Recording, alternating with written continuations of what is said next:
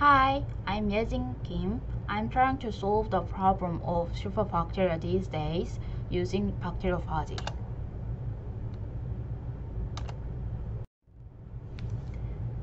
Have you ever been to the hospital to get antibiotics?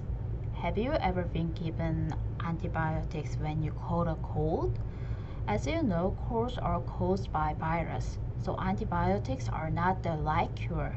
In this way, the problem of misuse of antibiotics is serious due to the need of doctors and patients.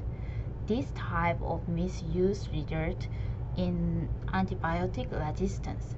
We call bacteria that are resistant to antibiotics super, superbacteria. What would it be like to have a day when antibiotics don't work? The skin disease caused by a simple bacterial infection will worsen and die. According to the WHO, 700,000 people die every year from superbacteria. It said 10 million of the world population could die by 2050. To give a brief history of antibiotics, Penicillin appeared and antibiotics such as streptomycin, the next generation, were developed. As it is effective against bacterial infection, antibiotic resistant pathogens have emerged. To solve this problem, we've tried to solve it in three ways. Try cocktail therapy using a variety of antibiotics together get vaccinated before antibiotic-resistant pathogens develop in odd. Lastly, what I want to do, using bacteriophagy instead of antibiotics.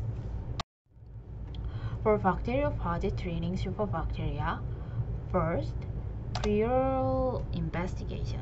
I need to determine what kind is effective and what amount is appropriate.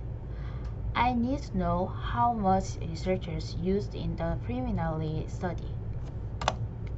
Second, gene recombination, recombination. Promote the ability to recognize bacteria through genetic modification and maximize bacteriophage's ability to kill bacteria. Third, test for efficacy. Through experiment, we check the killing ability and bacterial cognition ability of bacteriophagy. It also checks how much is appropriate. Fourth, mouse experiments for safety. Antibiotics are administered to infected mouse to confirm stability in in vivo, and the effect is measured. It also determines how much is appropriate. It can be worrisome that people do not know what will happen after inoculating living organisms into the human body. In fact, there are cases where the bacteriophagy was used for cancer treatment. So I don't think you need to worry about this problem. If another problem occurs, it solves the problem by genetically modifying white blood cell or other immune system in our bodies. Once you solve the problem that is expected, like when penicillin first appeared, we were able to conquer bacteria again. Thank you for listening.